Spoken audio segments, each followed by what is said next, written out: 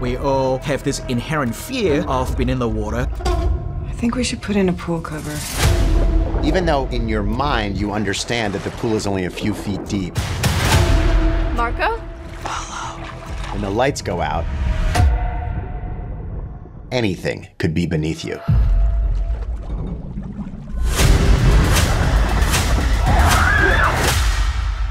This is a story about a family who, seeking a better life, moves in this house with a backyard pool.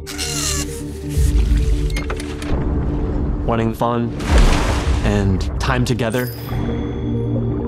Maybe we should have the cookout or something. That's a great idea. And what they get is a terrifying secret that is hidden beneath the surface of that water.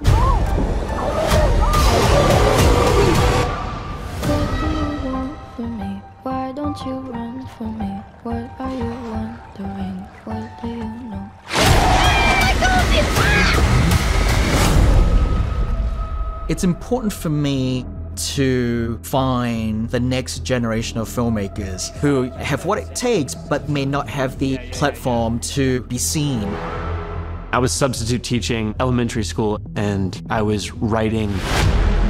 Night Swim is about how I felt when I was a kid in a pool by myself, convinced that there was something beneath me. You saw something, didn't you? James Wan and Jason Blum made some of the most iconic horror films of the last decade and a half. You team up, and it's a roller coaster ride.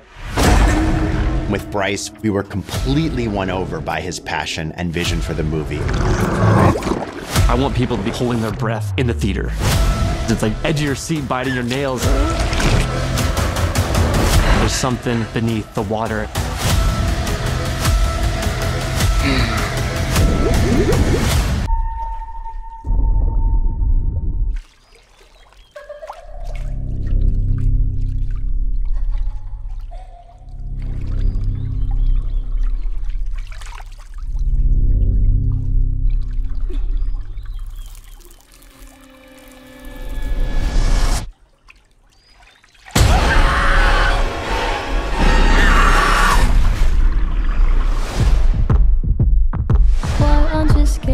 Why do you care for me? When we all fall asleep, where do we go? Kiss me. No, he didn't.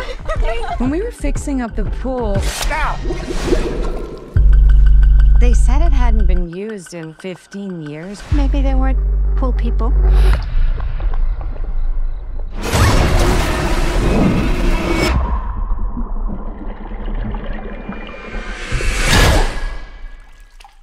This is not for the kids. I used to be scared of pools.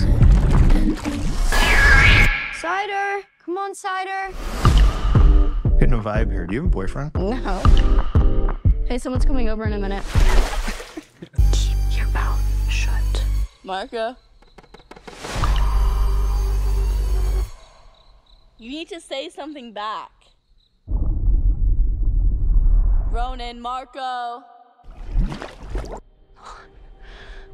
aren't you saying anything?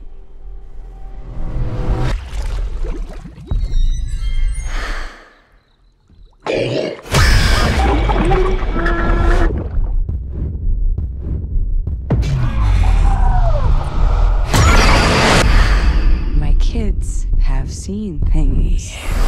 And I'm worried something is happening to my husband.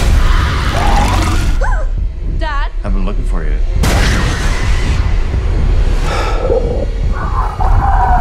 There has to be some way to stop this. Marco.